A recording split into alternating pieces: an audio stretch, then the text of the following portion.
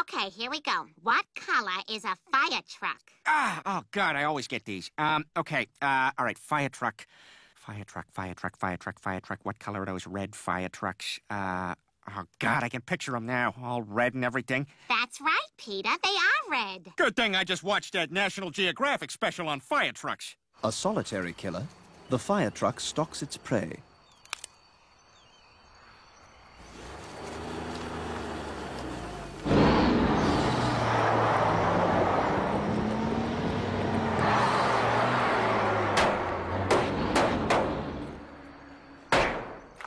The fire truck can consume eight times its body weight.